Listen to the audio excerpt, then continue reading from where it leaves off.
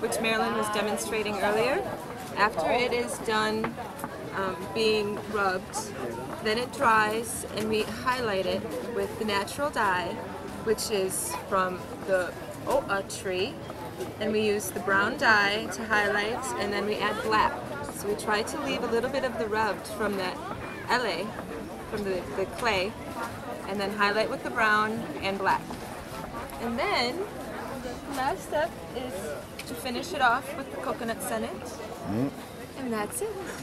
Now, are you following a traditional uh, pattern, or are you allowed to interpret uh, where the uh, colors go? I'm allowed that I'm allowed to interpret where the colors go. Um, the pattern is from the upeti board, which is carved um, from the wood carvers. And usually the men were carving the boards, and then they hand them over to the women who elei them and highlight them, and then we can use our artistic eyes to do whatever. So no two, maybe no two are alike. Maybe sometimes two are alike, but you can you can do whatever you want in highlighting. Okay. Please carry on. What else would you like to know?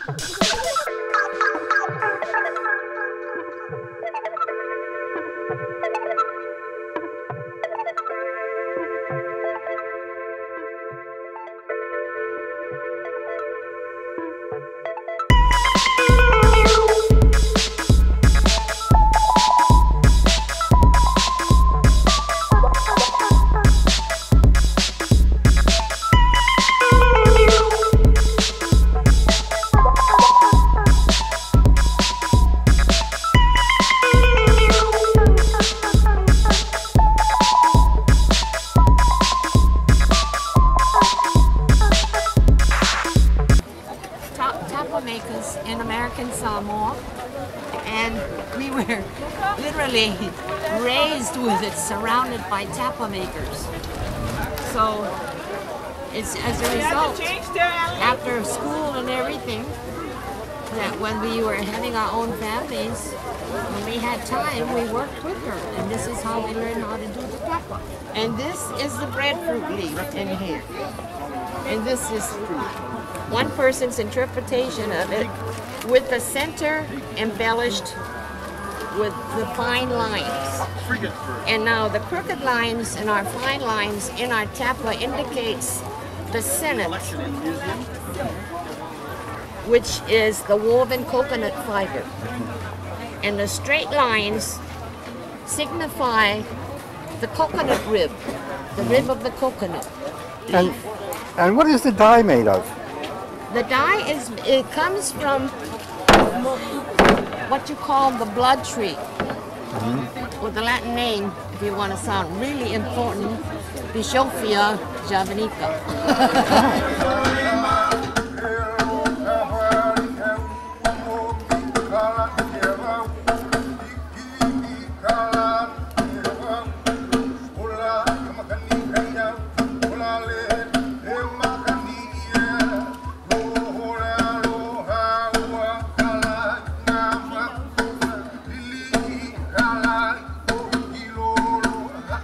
Oh,